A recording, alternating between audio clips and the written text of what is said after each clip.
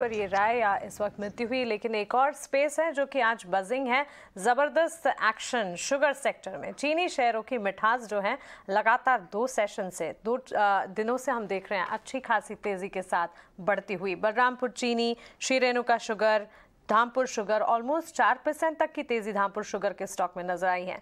चीनी शेयरों में इस मिठास के पीछे की वजह क्या है? आइए डिम्पी से समझते हैं। डिम्पी बताएँ। हालाँकि शुगर स्टॉक्स को लेकर मार्केट में यह है कि शुगर खाना नहीं चाहिए, शुगर आपको हो जाता है, लेकिन शुगर कंपनी आपको बहुत अच्छा रिटर्न दे रही है अगर आप शुगर वाले स्टॉक्स में हैं तो। उसकी दो बड़ी वजह हैं। पहला, चीनी, दूसरा, एथेनॉल।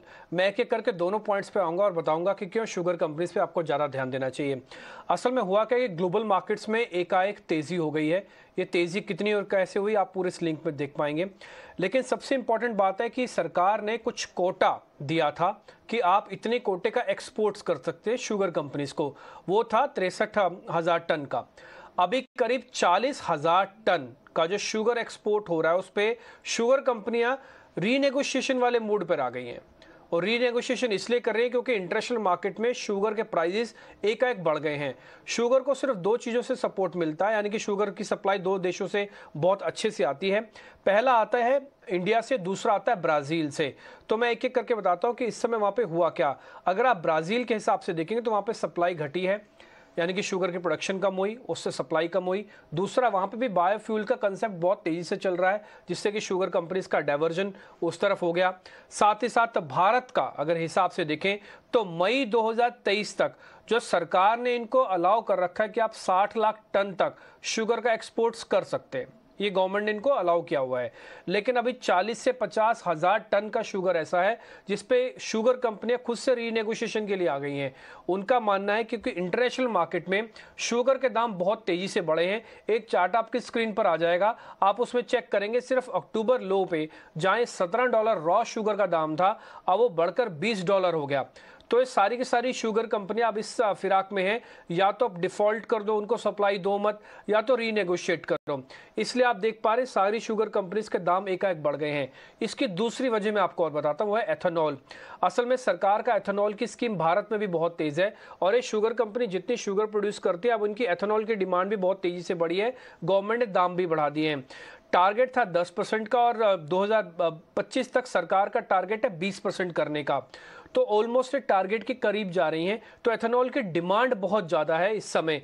और अगर आप एथेनॉल के हिसाब से एएमसी को प्रोडक्शन दे, सप्लाई देखेंगे ऑल मार्केटिंग कंपनीज़ को तो करीब हम 420 लीटर की सप्लाई कर रहे हैं इस समय। और डिमांड बहुत ज़्यादा है। इसलिए शुगर कंपनीज़ के दोनों तरफ़ से पौबारा है। पहला तो एक्सपोर्ट्स के दाम दूसरा एथेनॉल के यहाँ पे ब्लेंडिंग का बेनिफिट तो इसलिए शुगर कंपनीज़ आपको काफ़ी तेज़ी से ऊपर आती हुई दिख रही हैं। डिम्पी आइए, शुगर स्टॉक्स में कुछ ट्रेडिंग आइडियाज़ डिस्कस करते हैं सुदीप के साथ। सुदीप, आपको कौन सा स्टॉक पसंद आता है? द्वारकेश, बलरामपुर श्री रेणुका भी अब बड़ा हो गया है ऑलमोस्ट पेनी स्टॉक बन के। कहाँ पे ट्रेडिंग अपॉर्चुनिटी है? सबसे बढ़िया ये सारे चार्ट्स में अगर हम देखें तो श्री रेणु का ही अगर हम वीकली डेली मंथली चार्ट्स देखें ना तो चार्ट स्ट्रक्चर पे मुझे लग रहा है कि रेणु का शुगर ही सबसे ज़्यादा एक बढ़िया पैटर्न दिखा रहा है। और स्पेसिफिकली अगर इसकी बात करें तो वीकली चार्ट्स पे एक राउंडिंग बॉटम बना था पहले पच्चीस तीस रुपए के लेवल पे। फिर उसके बाद एक हायर बॉटम बना, एक सपोर्ट जोन बना 45 के आसपास का। और उस, वहाँ से जो ये 65 का एक एक बार 65 67 का अपमूव आया था। फिर इसने यही सेम ऊपर के ट्रेजेक्टरी पे ये ये स्टॉक कंटिन्यूसली ट्रेड कर रहा है, पचपन, साठ, पैंसठ के रेंज में। तो ऊपरी स्तरों पे यहाँ पे कहीं प्रॉफिट बुकिंग नहीं आई थी। अगर हम रिलेटिवली दूसरे शुगर स्टॉक्स देखें तो वहाँ पे सेलिंग प्रेशर भी पिछले कुछ एक डेढ़ महीने में देखा देखा गया था। बट श्री रे, रेणु का शुगर्स का जो एक चार्ट है वो कम्प्लीटली शुगर सेक्टर के बाकी स्टॉक से आउट परफॉर्म कर रहा है।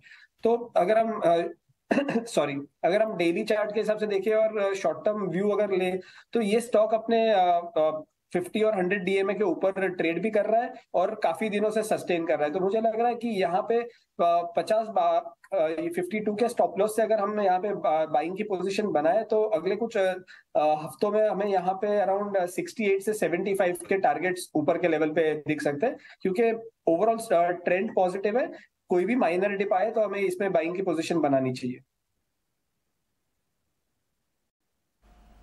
ठीक है, चीनी स्टॉक्स में तो कुछ अच्छी अपॉर्चुनिटीज़ नज़र आ रही हैं।